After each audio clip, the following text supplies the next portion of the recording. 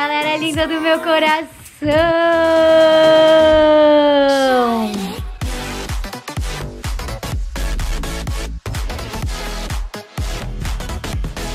Pra quem não me conhece, meu nome é Carol Brasolim. O Insta aqui. Então já pode seguir lá, já pode deixar seu like, comentários, que eu tô sempre respondendo os comentários de vocês. E hoje, meus amores, eu estou aqui pra mais um quadro que eu sou simplesmente apaixonada. É o nosso Testando Brinquedos. Eu sou apaixonada mesmo, porque a gente já fez bala fine neste canal. Já fizemos tricô neste canal. Já fizemos marshmallow neste canal. E todos eles brinquedos que a gente testou aqui juntinhos. E tá chegando o inverninho, tá chegando o frio. E hoje eu estou aqui pra testar uma fonte de chocolate de brinquedo. E no caso, dá pra fazer tipo um fundi de chocolate com toda a família. Nossa, vai ser demais, demais, demais. Então bora lá, bora lá, bora lá. Tcharam, tcharam, tcharam, tcharam, tcharam. Olha quem tá aqui, se não é ela, a nossa fonte de chocolate.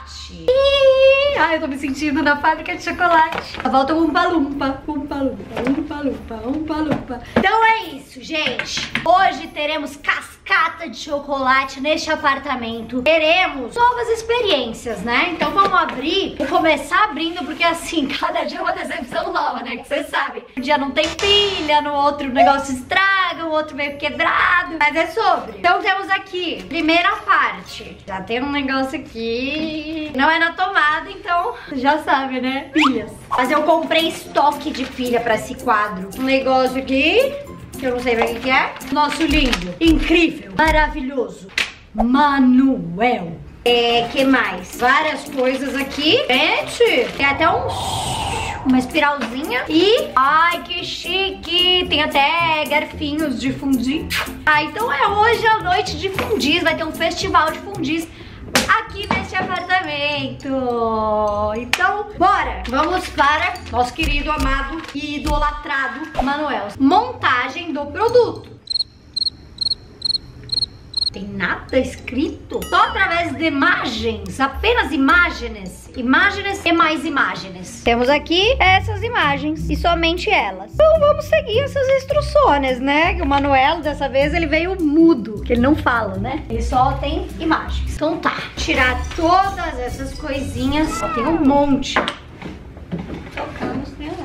Olha, decidi trazer vocês um pouquinho mais perto de mim, porque eu amo o meu cenário. Eu fiz ele perfeitinho, assim, pra ficar lindo com essa mesa e tarará. Mas o que eu amo ainda mais é ter vocês aqui, ó, bem pertinho, pra eu poder mostrar todas as coisas, vocês conseguirem entender o que eu tô falando, porque de longe fica difícil, né? Ainda mais eu, que assim, eu não enxergo muito bem. Aí, ó, temos um espiral. Aí temos várias coisas aqui, várias, né? Pratinhos vamos deixar pra depois, que é só na hora da comidinha. Aí aqui tem esse treco aqui, ó. Eu já vi. Vou esperar pra gente se emocionar juntos. Caso eu não tenha novamente a pilha. E aí, tan,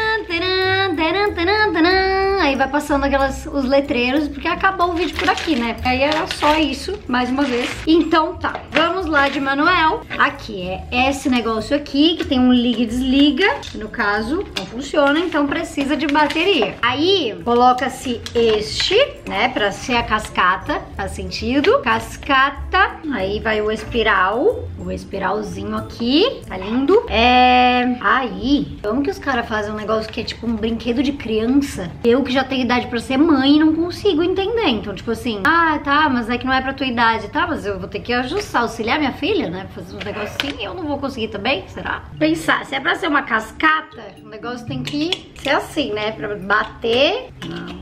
Assim, não. Sim ou não? Tô tentando colar lá da imagem. Eu acho que é isso mesmo. É. Uhul! As imagens. E a espiral, ela serve pra quê? Tipo, só pra fazer uma beleza? Limpeza. Colocar as pilhas. Vamos lá, né? Vou lá pegar minhas ferramentas. Tcharam! Ai, gente, eu sou muito dona de casa, né? Porque ter essas ferramentas é tipo ser muito dona de casa. A moral da história, sem decepções hoje, porque é a mesma pilha do... da fábrica de picolé que eu tive que comprar. Tudo certo. Tudo certo. Gente, agora que eu vi que tem isso aqui, ficou faltando. Vamos ver se liga. Sim. Ah, entendi. Entendi tudo agora. A coisa fica girando ali dentro. Que sensacional. Vocês estão vendo? A espiralzinha, ela fica girando. Pra quê? Não sei, mas ela fica. Que show de bola. E agora vamos ao que interessa, né? Que é a nossa fonte de chocolate. Eu não tô vendo nenhuma tomada nesse negócio. Como é que vai ficar quente meu chocolate, meu derretido? Meu fundozinho, chocolate derretido. Opções de cobertura. Caldas de chocolate industrializadas, não quero. Cobertura de sorvete, não quero. Iogurtes líquidos, não quero. Caldas de chocolate de receita caseira, como ganache e cobertura de bolo. Não, eu quero chocolate. Observação. Eu eu, não gastei esse dinheiro pra isso. Eu não gastei.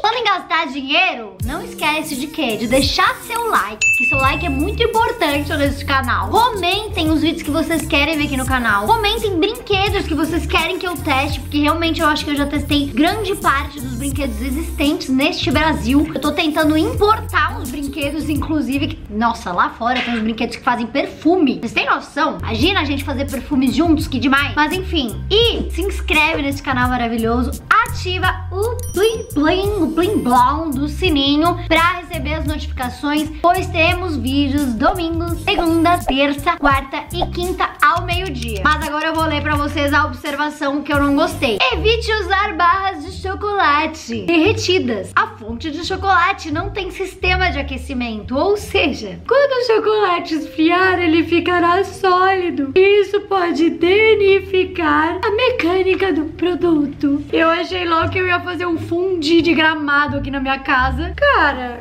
é tipo pra colocar calda de chocolate? Enfim, né? Vou lá pegar a calda de chocolate, que é óbvio. Eu não me preparei pra isso. Eu comprei, eu vou mostrar pra vocês a quantidade de chocolate que eu comprei, porque eu juro que eu achei que eu ia fazer a festa do fundi aqui. A festa da ponte de chocolate, que ia todo mundo... Uh!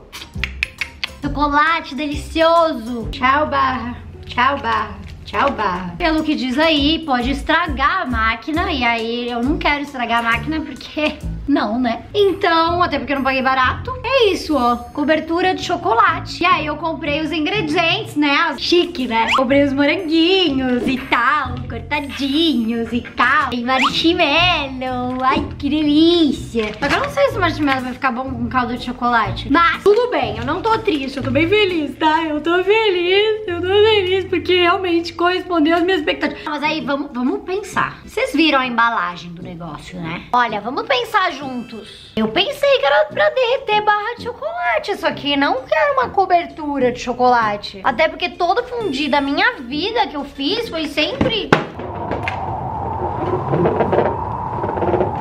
Também deixa. Eu vou fazer o negócio funcionar. Se funcionar muito bem, eu vou comprar aquelas caixas de fundir que tem o chocolate já. Eu acho que é melhor, né, do que derreter o chocolate. Eu derreter esse chocolate com creme de leite, que ele fica mais ganache. Será que não pode? Bom, importa que a gente vai testar aqui com a cobertura. E depois, como eu vou usar e com o que eu vou usar, dá pra colocar leite condensado, uma cascata de...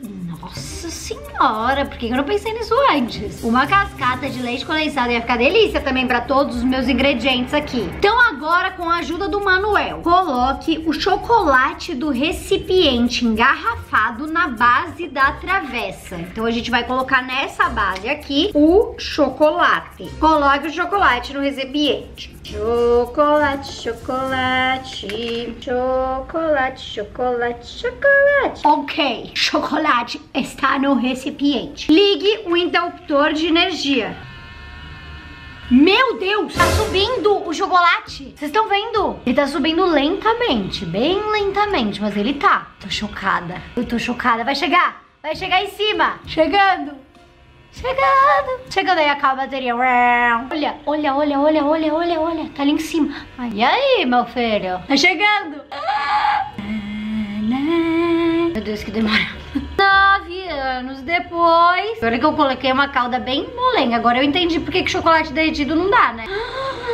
Gente, que lindo que fica isso. Eu vou colocar de decoração na minha casa. Olha, Eu achei bonito, hein? Me surpreendeu positivamente agora. Depois de tanto negativamente, me surpreendeu positivamente agora. Nossa, mas imagina que legal um jantar romântico assim, esse barulho. Mas eu gostei. Olha, vou falar, me surpreendeu positivamente falando. Real. Óbvio, tem que ser realmente um ganache, uma calda de chocolate, porque um chocolate normal não vai mesmo. Peço desculpas por ter duvidado da fábrica, né? Porque eu falei, ah, depois eu vou botar, mas não tem como. Porque ele tem que subir pra depois descer e virar essa fonte de chocolate. Então, realmente, nossa, mas olha que lindo isso. Eu tô apaixonada. Eu apaixonada em todos os brinquedos, né? Eu amo. Olha. Melhor de tudo é esses pratinhos, né? Parece que eu tô na casa da Barbie. Aqui eu e, e vocês. Ó, um pratinho pra vocês e um pratinho pra mim. Um garfinho pra vocês e um garfinho pra mim. E agora eu vou pegar aqui, ó, um moranguinho. E aí põe assim, será? É, né? Tipo assim, será que se eu ponho no meio? Assim? Ah, gosto.